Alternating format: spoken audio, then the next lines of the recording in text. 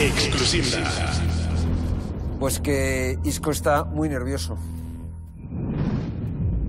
Hemos visto imágenes ahí de un caño y de abrazos. Ha La parte que, que- que- que hemos podido grabar, ¿no? Es 15 minutos. Eso lo, minutos lo abierto, previos. lo 15 abierto. minutos. regularmente hacen- dura una, una hora más. Exactamente. Claro, que eso no Siempre empieza de hacen verdad. un, un rondo para calentar y hay Vale. buen ambiente casi siempre. ¿Y, ¿Y qué ha ocurrido? Bueno, le ha entrado Reguilón a Isco y ha habido una medio tangana, ¿no? Es decir, no se han eh, llegado a pegar, pero los han tenido que separar porque se iba Isco a por el lateral izquierdo del Real Madrid. ¿Isco por Reguilón? ¿Y les han tenido que separar?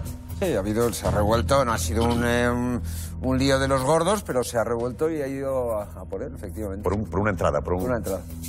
Es que Isco estaba nervioso y es lógico, claro, que una estrella de ese calibre no cuente mañana, hay apuestas en el seno de la plantilla sobre si va a ir convocado o no. Claro, si mañana no va No convocado. va convocado mañana. Yo creo que no, que No, tampoco. va a viajar, yo creo, pero que puede que luego se quede. Vamos a ver, el núcleo duro del vestuario. ¿Viajan? ¿Porque viajan todos? o qué? 21. Viajan Viajan, 21. van a Había 21 y quedan Viajan 16. más, viajan más Se de ha lo quedado. Vallejo, en fin, los de siempre. Otra cosa es que posiblemente se vaya a la quedada. O sea, la- la- el núcleo duro del vestuario No, apuesta sí, es que- porque mañana no va a ser convocado. Yo digo lo que dicen ellos, no sé qué va a pasar.